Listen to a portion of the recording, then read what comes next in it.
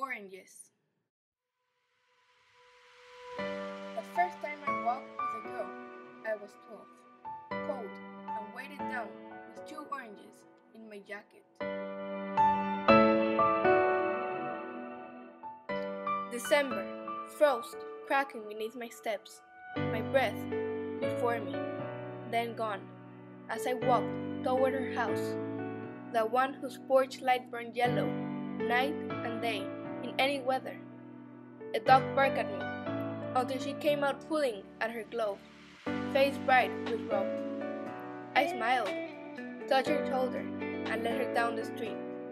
Across, a used car, lot, and a line of newly planted trees until we were breathing before a drugstore.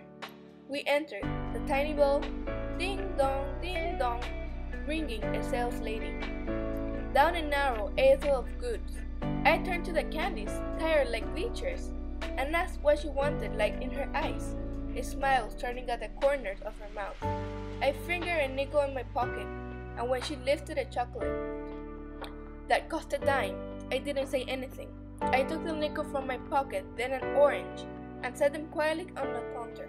When I looked up, the lady's eye met mine and held them, knowing very well what it was all about.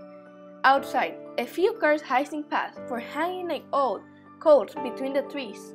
I took my girl's hand in mine for two blocks, then released it to let her unwrap the chocolate. Mmm.